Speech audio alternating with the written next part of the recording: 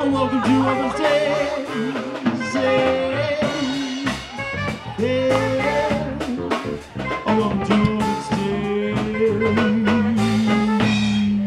Well, I guess I can add Commodore to my resume now.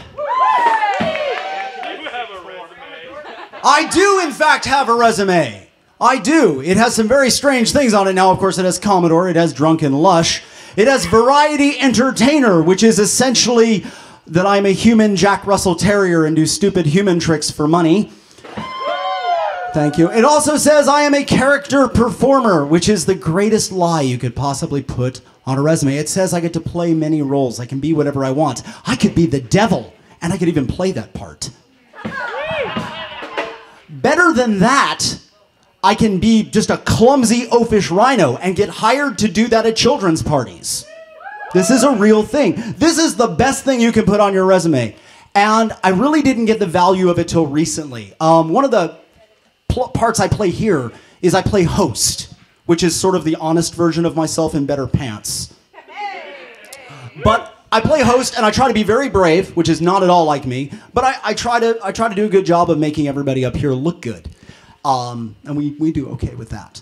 I learned about the value of character in my other role as the director of the Circus Freaks performing troupe. That's one of them. Those are their fans. Both of them are here. That was really good.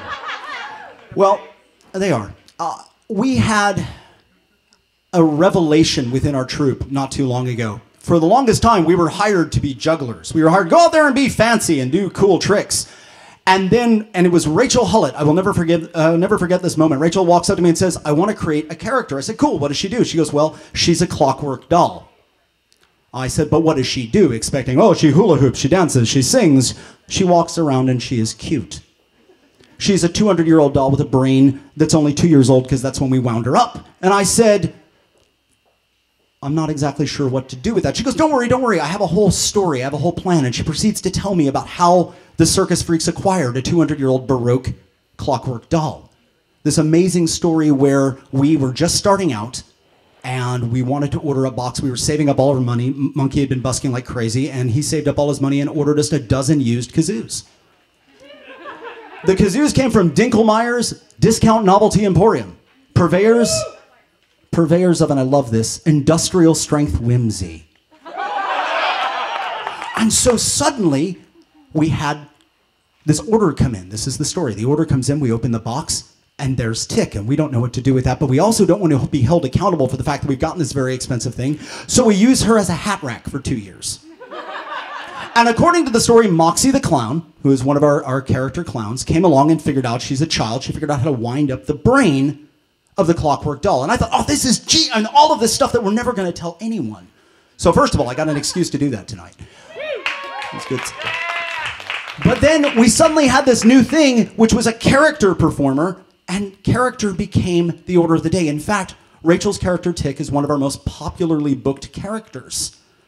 She actually gets to go out and do more children's birthday parties than any of us. She gets to do festivals. They love seeing her. We started bringing new performers on board this year. Uh, we call them the Junior Freaks. We have any in the house tonight? Do we have any juniors here? Oh, I got a couple of juniors in the house. That's pretty cool. So we started bringing the Junior Freaks, and one of them walked up to me, a girl by the name of Catherine Chambers, and she said, I have an idea. I want to play Tick's arch nemesis. And I said, I said, now wait a minute, wait a minute. She's a two-year-old. I mean, I mean, she's 200 years old, but the brain, she's two. She goes, that's easy. It's not a problem. I just don't tell her I'm an arch nemesis.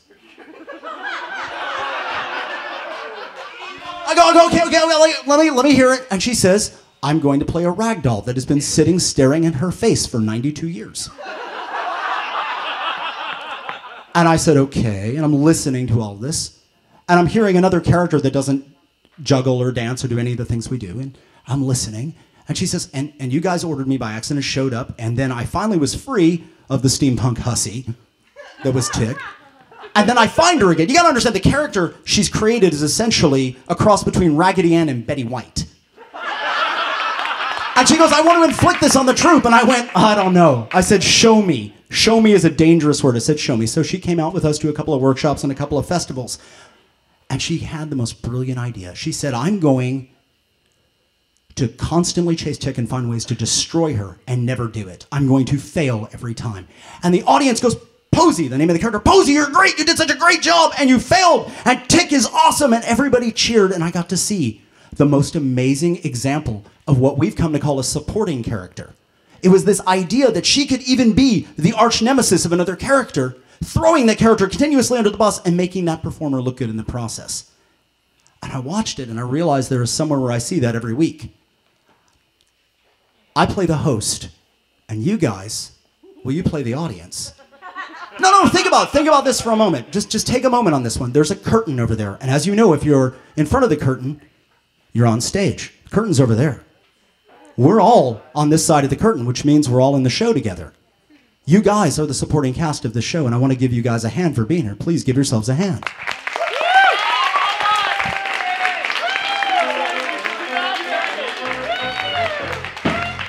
And I have to tell you, in all the shows I do and all the times I've been under a bus, metaphorically or otherwise, Rhino does stupid things. I want to tell you this. I have never seen support like I see here, and I thank you guys so much for bringing it, especially for people who come and tell me every time they perform here, I have never seen that before. Thank you and welcome to the open stage.